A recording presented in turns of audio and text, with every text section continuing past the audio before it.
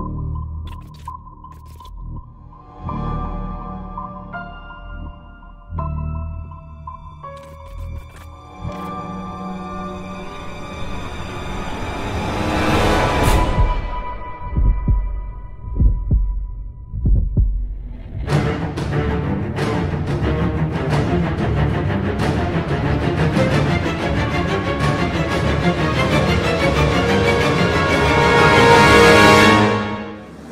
Hey, do you guys know how to open CDs?